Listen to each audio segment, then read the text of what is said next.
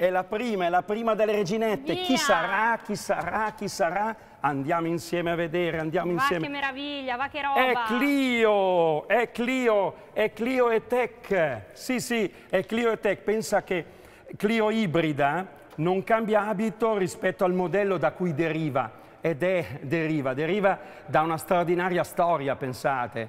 Deriva, pensate, da un record assoluto che ancora detiene Clio in Europa. È la numero uno nelle vendite del gradimento al pubblico femminile, giovanile, il pubblico di tutte le età in Europa del segmento B ed Ma- è un grande traguardo. Ma attenzione Beppe, perché tu lo sai benissimo, noi questa meraviglia l'abbiamo provata, l'abbiamo provata sulle strade di Varese, grazie anche a, ovviamente dobbiamo ringraziare il Palace Hotel e anche la Camera di Commercio di Varese e attenzione ragazzi, perché durante questa presentazione voi potete mandarci le domande che noi, noi in diretta parleremo con chi di dovere, poi ve lo presenteremo e andremo a rispondervi, quindi mi raccomando continuate a scriverci. Ecco, prima di svelare, di far partire il filmato, citiamo in sintesi massima le dotazioni tecnologiche innovative, completamente innovative di Clio e Tech. Innanzitutto diciamo che la base è un 1600 benzina di 91 cavalli, accoppiato al motore termico a un'eccellente coppia, ma sì, proprio di due motori elettrici. Il primo motore è di 49 eh, cavalli e il secondo motore elettrico è di 20 cavalli che fa da motorino d'avviamento, proprio da generatore di corrente, da sincronizzatore per l'innesto automatico degli ingranaggi del cambio direi eh, multimode, brevetto assolutamente Renault per, e garantisce una ottima fluidità proprio nel comportamento su strada. Non dimentichiamo che il sistema ibrido consente a Clio e Tech di viaggiare in città con la sola trazione elettrica per 50% del tempo, fino alla velocità massima di 70 km h con una riduzione dei consumi di 40%, davvero notevole.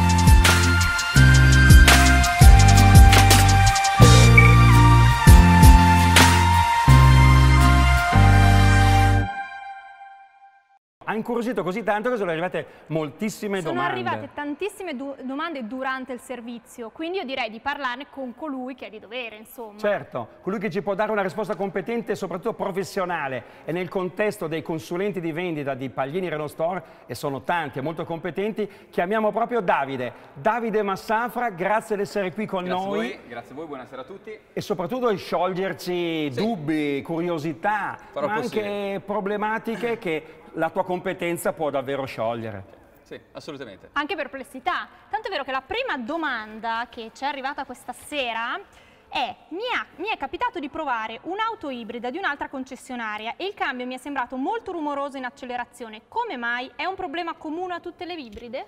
Allora, diciamo che non è un problema comune a tutte le ibride, nel senso è, è un problema comune alle quelle ibride che utilizzano un cambio a variazione continua.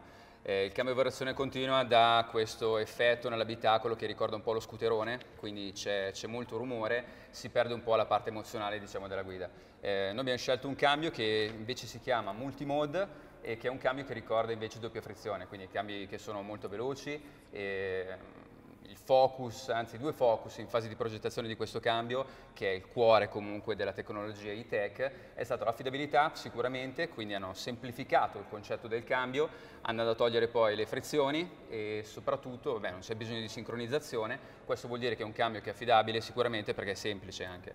Secondo focus il piacere di guida, perché guidare un'ibrida eh, non deve voler dire per forza guidare una macchina mm, noiosa, diciamo, ma anzi eh, bisognerebbe accentuare il piacere di guida eh, quindi diciamo che ehm, appunto con questa similitudine con il cambio doppie frizioni i passaggi di marcia sono veramente molto veloci. Domina il Fluidi. silenzio? Assolutamente sì. Poi chiaramente vabbè, l'invito è quello naturalmente di eh, venire a provarle queste macchine perché eh, al di là comunque di quello che si può dire o che si può leggere, la cosa migliore è toccare con mano il prodotto perché, ripeto, è proprio il punto di forza di queste, di queste nuove ibride che sono un po' la nuova generazione secondo me di, Ecco, un'altra domanda invece che eh, è arrivata è quando si passa dal motore elettrico Sì. al termico, è sempre automatico il passaggio? Allora, ehm, è automatico fin tanto che io eh, utilizzo una modalità in particolare che è la MySense, quella che poi verrà utilizzata secondo me per la maggior parte del tragitto. Ci sono però tre modalità che si possono scegliere, quindi eh, la MySense che è una vettura ibrida normalissima, quindi c'è una continua alternanza tra il motore elettrico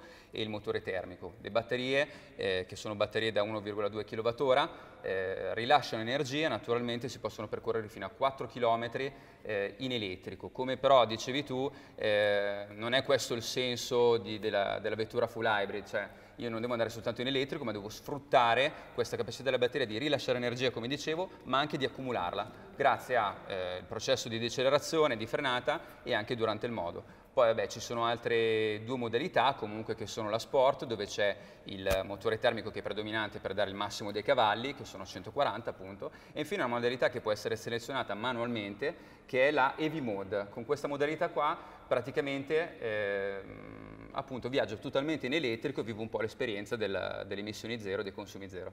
Davvero interessante, direi completo. Complimenti davvero Davide grazie, la tua grazie. chiarezza dell'esposizione anche.